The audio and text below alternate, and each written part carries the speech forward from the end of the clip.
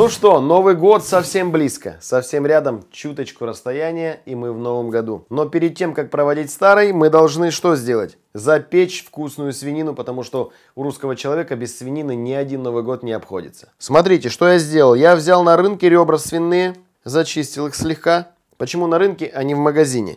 Да потому что в магазине, блин, они там все отдирают, остаются одни кости. А нам нужно, чтобы на, на ребрах было мясо, да причем и побольше. Здесь же прослоечки, здесь жирок. Это все вытапливается в процессе приготовления. И мясо на реберное, м-м, аж слюна пошла. Получается сочное и вкусное. Сразу подготовил противень, на котором будет все запекаться. Как говорил, блестящая сторона, матовая сторона, блестящей стороной наверх.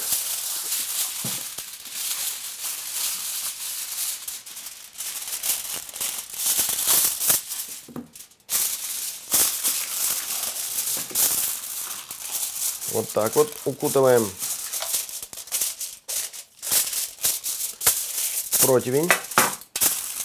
Почему я это делаю? Чтобы блестящая сторона отражала тепло со всех сторон и свинина готовилась равномернее.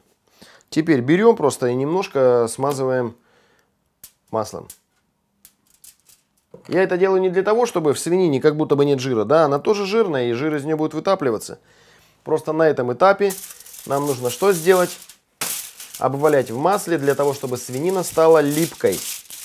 Масло мы используем в качестве прилипалки для специй и трав. Берем мелко нарубленные поллуковицы и 5 зубчиков чеснока.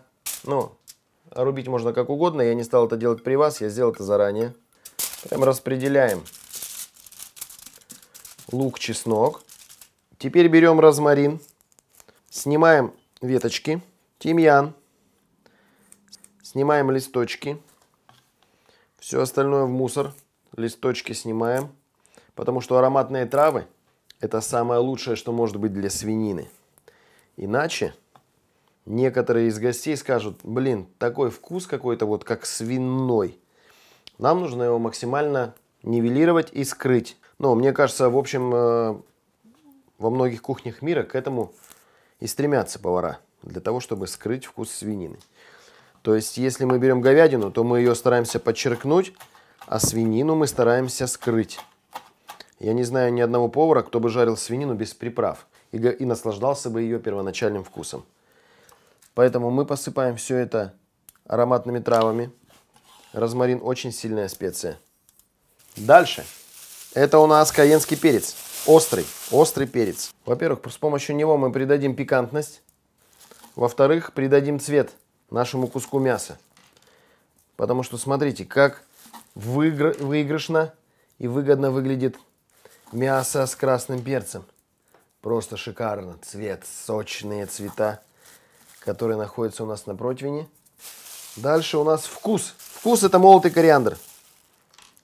Мы берем молотый кориандр и посыпаем нашу свинину обильно посыпаем молотым кориандром, он очень хорош к свинине.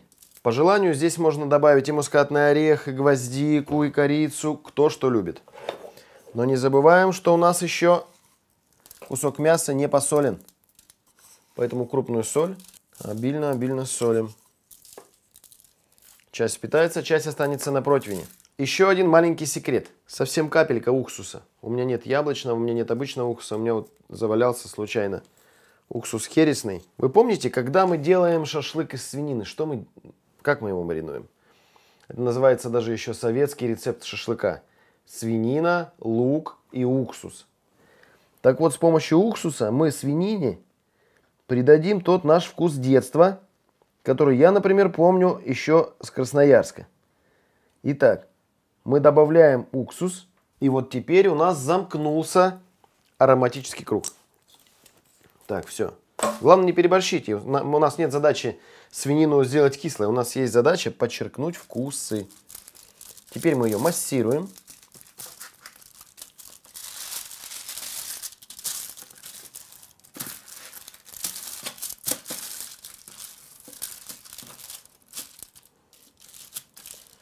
Супер. Все, переворачиваем. Теперь им нужно час постоять при комнатной температуре для того, чтобы маринад проник внутрь соль, специи, все вместе объединилось. Ставим в духовку на полтора часа, температура 100 градусов. Ну а пока готовится мясо, приготовим гарнир, причем будем готовить его из красной кочанной капусты. Ну, белая всем уже надоело, давайте готовить из красной. Для начала лук. Лук полукольцами произвольно. Самый красивый разрез из всех овощей, мне кажется, у краснокочанной капусты. Это просто какое-то, это картина. Природа создает нам такие витиеватые рисунки, что Дед Мороз отдыхает. Итак, Капусточку берем, ну и, соответственно, режем так, чтобы у нас получилась соломка. Чем тоньше мы ее нарежем, тем она быстрее сварится. Берем небольшую кастрюльку, наливаем сюда несколько столовых ложек масла и отправляем туда лук, пока что без капусты. Слегка помешиваем палочкой корицы. Слегка обжарили лук, палочку корицы бросаем. И следом добавляем сливочное масло. Кусочек граммов 20. Теперь добавляем чеснок. Обязательно добавляем тмин. Щепотку тмина много не нужно. Растираем его в руках. И отправляем сюда. Для того, чтобы ароматы раскрылись во время обжарки. Я люблю мускатный орех, поэтому без него в этом блюде я обойтись не могу небольшая щепотка и все зимние ароматы собраны в одной кастрюльке. Теперь мы должны это все помешать. Увеличиваем огонь. Вот теперь они раскрылись. Когда нагреваются специи в масле, они источают такой рождественский какой-то аромат. Обязательно черный перец. Черного перца не жалейте. Немного соли. И, как вы уже поняли, парочку свежих лавровых лист... листочков. Мы сделали ароматическую базу, теперь сюда отправляем капусту. Выкладываем все это в кастрюлю. Капусту обжариваем 2 минуты. После этого мы берем бальзамический уксус. Ага, ложка с дырками. И наливаем пару столовых ложек в капусту. Перемешиваем. Даем уксусу испариться. Накрываем капусту сковородкой. Можно, конечно, и крышкой, но сковородкой лучше. И убавляем огонь до минимума. Оставляем тушиться минут на 15.